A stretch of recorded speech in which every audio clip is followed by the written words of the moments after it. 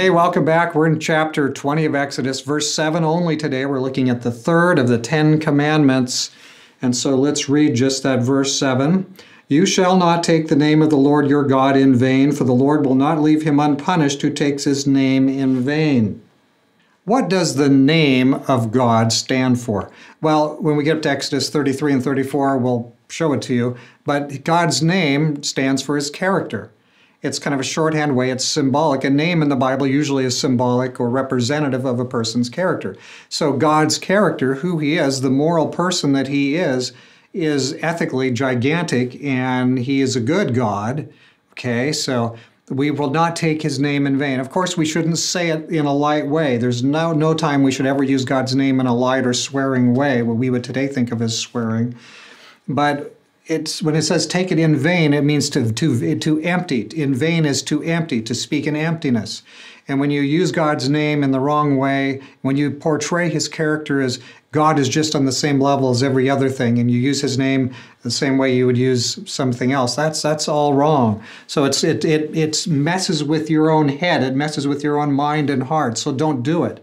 So we get away from uh, with old days when we used to, when we were unconverted and following the lusts of our flesh, we would uh, swear and use God's name in a, in a completely wrong way. Notice what this text says to us at verse 7 the Lord will not leave him unpunished who takes his name in vain. So uh, now, if you repent, you know, then Jesus pays the price for that for you, and you don't, you're not going to be punished for it. Jesus takes that punishment.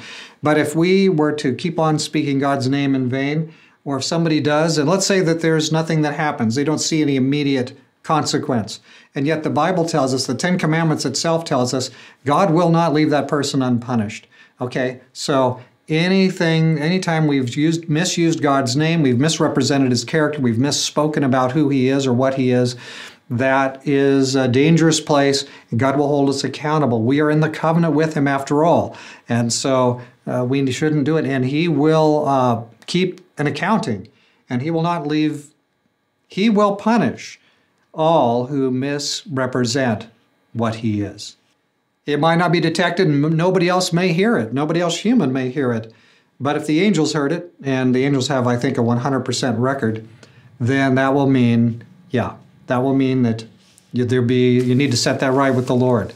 Please let's not speak of God in a way that takes him down. We need to always speak of him in a way that that is respectful and that puts him up higher.